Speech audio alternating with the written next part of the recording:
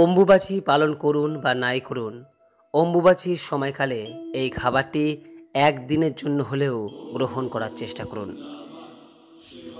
বন্ধুরা, এখন অম্বুবাচী চলছে, যা থাকবে আগামী মঙ্গলবার রাত্রি নটা বেজে আট মিনিট পর্যন্ত, যাকে বলা হয় অম্বুবাচী নিবৃত্তি। এই সময়কালে প্রকৃতিতে ভারী বর্ষা, আর্দ্র মেঘাচ্ছন্ন আবহাওয়া সর্বদা বজায় থাকবে, একথা বলাই বাহুল্য। কারণ শাস্ত্র অনুসারে এই সময়ে আদ্যাশক্তি, মহামায়া এবং তার বিভিন্ন রূপের ঋতুচক্র সংগঠিত হয়। এই সময় দেবী বিশ্রামে থাকেন। আর সেই কারণেই এই অম্বুবাচী চলাকালীন সময়ে দেবী দর্শন নিষেধ করা হয় এবং আদ্যাশক্তি, মহামায়া এবং তার বিভিন্ন রূপের পূজা এই সময় বন্ধ করা হয়ে থাকে। বন্ধুরা, অনেকেই হয়তো আপনারা এই অম্বুবাচী ব্রত রাখছেন। পূর্বের ভিডিওতেই আপনাদের সামনে উল্লেখ করেছিলাম যে যারা এই অম্বুবাচী ব্রতটি রাখছেন, তাদের এই সময় কোন কোন খাবার গ্রহণ করতে হয় এবং কীভাবে এই অম্বুবাচীর ব্রতটি পালন করতে হয়। নিঃসন্দেহে তিন দিনের এই ব্রত রাখা যথেষ্ট কঠিন। কারণ এই সময় যারা এই অম্বুবাচী ব্রতটি রাখেন, তারা ব্রত চলাকালীন তারা কখনোই কিন্তু আগুনে তৈরি হওয়া খাবার গ্রহণ করেন না। এমনকি অনেকেই রয়েছেন যারা এই সময় প্রকৃতি থেকে প্রাপ্ত ফলমূলও গ্রহণ করেন না। অম্বুবাচী শুরু হওয়ার পূর্বে তারা যে ফল, মূল বা অন্যান্য খাদ্য সামগ্রী সংগ্রহ করে থাকেন, তাই তারা এই তিন দিন গ্রহণ করে থাকেন।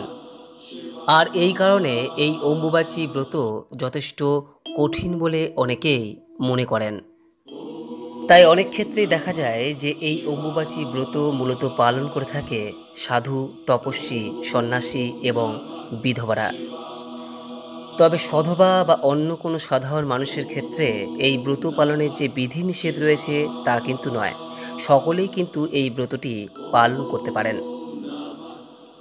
এমনটা মানা হয় যে কোনো ব্যক্তি যদি এই ব্রতটি পালন করে থাকেন, তা সে নিজের জন্যই হোক অথবা অপর কোনো ব্যক্তির জন্যই হোক, কঠিন থেকে কঠিনতম, দুরারোগ্য ব্যাধিও এই ব্রত পালনের মাধ্যমে নির্মূল হয়ে যায়।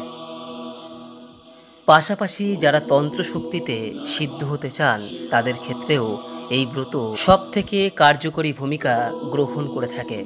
আর সেই কারণেই এই অম্বুবাচী চলাকালীন সময়ে অসমের কামরূপ কামাখ্যা মন্দিরে প্রচুর অঘরী এবং তান্ত্রিকরা ভিড় করতে শুরু করেন।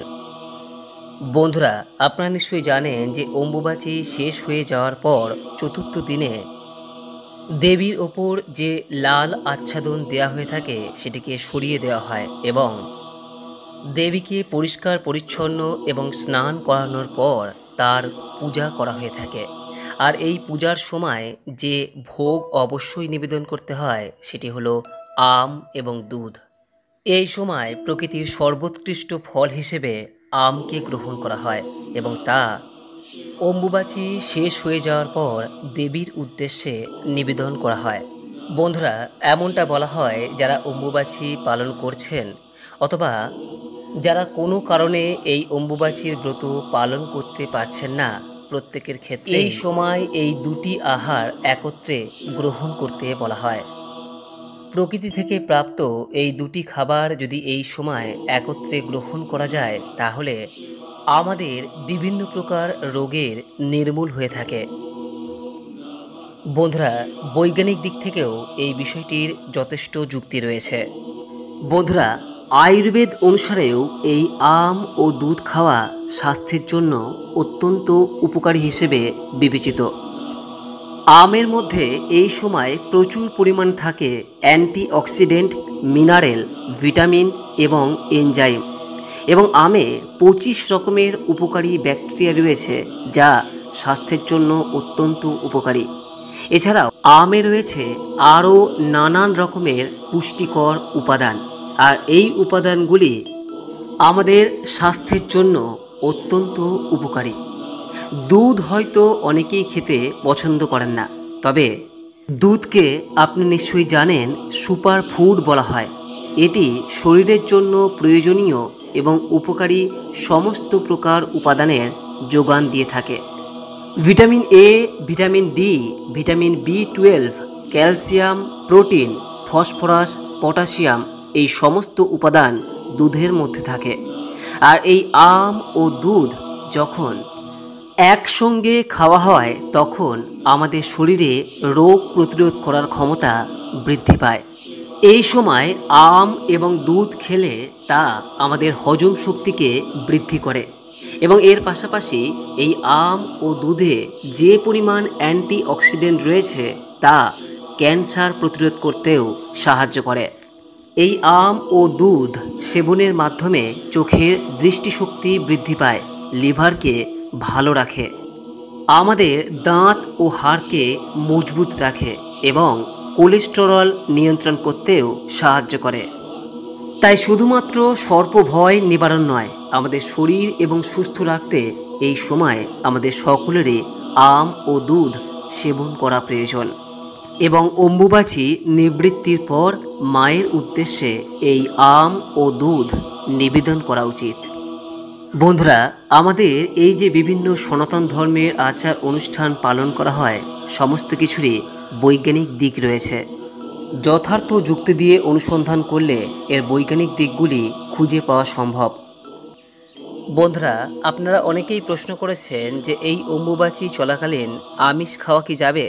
এই প্রশ্নের উত্তরে আপনাদের জানায় যে এই বিষয়টি সম্পূর্ণ আপনার ইচ্ছাধীন বিষয়। কারণ এই সময় আমিষ খাওয়ার বিষয়ে এইরূপ কোনো প্রকার বিধি নিষেধ নেই। তবে যারা এই অম্বুবাচী ব্রত পালন করছেন, তাদেরকে অবশ্যই আহারের ক্ষেত্রে পূর্বের যে বিষয় বলা হলো, সেগুলি মেনে চলা প্রয়োজন। অনেকেই প্রশ্ন করেছেন যে অম্বুবাচীর সময়কালে যদি কারও মাসিক হয়, অর্থাৎ যদি তিনি এই সময় রজস্বলা হন, সেক্ষেত্রে কী করণীয়? এই প্রসঙ্গে বলি, এটি ভালো বা খারাপ এই বিষয়ে না গিয়ে এটাকে একটি স্বাভাবিক প্রক্রিয়া হিসেবে বিবেচনা করুন এবং প্রত্যেক মাসে এই সময়কালে যেমনটা আপনি করে থাকেন, ঠিক তেমনটাই করবেন। তবে হ্যাঁ মনে রাখবেন যে এই সময়কালে শাস্ত্রে বিভিন্ন দেবদেবীর পুজো অর্চনা করার ক্ষেত্রে বিরত থাকার কথা বলা হয়েছে।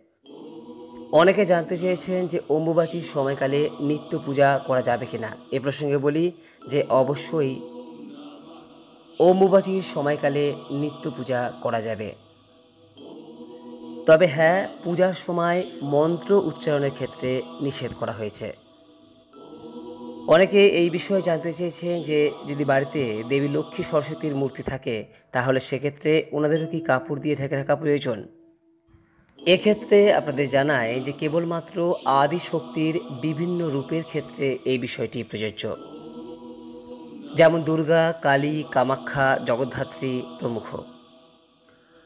অনেকে প্রশ্ন করেছেন যে অম্বুবাচীর সময়কালে চুল, দাড়ি, নখ ইত্যাদি আপনি কাটতে পারবেন কিনা। যদি আপনি অম্বুবাচী পালন করে থাকেন, তবেই এক্ষেত্রে এই বিষয়গুলি প্রযোজ্য। যদি অম্বুবাচী পালন না করেন, তাহলে সেক্ষেত্রে এই প্রকার কোনো বিধিনিষেধ নেই। আর হ্যাঁ গঙ্গা জল সবসময় পবিত্র। তাই আপনি যে কোনো পুজো অর্চনার ক্ষেত্রে যে কোনো সময়ই গঙ্গা জল ব্যবহার করতে পারেন। এমনকি এই অম্বুবাচীর সময়কালেও আপনি গঙ্গা জল ব্যবহার করতে পারেন। অম্বুবাচী একটি স্বাভাবিক প্রক্রিয়া যা প্রতিটি নারীর জীবনেই আসে। এই সৃষ্টির রহস্য এর মধ্যেই লুকিয়ে রয়েছে, তাই একে অপবিত্র মনে করার কোনো কারণ নেই, বরং একে যথার্থ গুরুত্ব দেওয়ার জন্যই প্রত্যেক বছর এই অম্বুবাচী তথা অমাবতী পালন করা হয়। আশা করি দর্শক বন্ধুরা এই ভিডিও থেকে সমৃদ্ধ হয়েছেন। এরপরও যদি এই সংক্রান্ত কোনোরূপ কোনো প্রশ্ন বা মতামত থাকে, নিচের কমেন্ট বক্সে অবশ্যই জানাবেন। সকলেই ভালো থাকুন, সুস্থ থাকুন, এই কামনা করে আজকের মতো ভিডিওটি এখানে শেষ করলাম। নমস্কার, ধন্যবাদ। ঈশ্বর আপনার মঙ্গল করুক।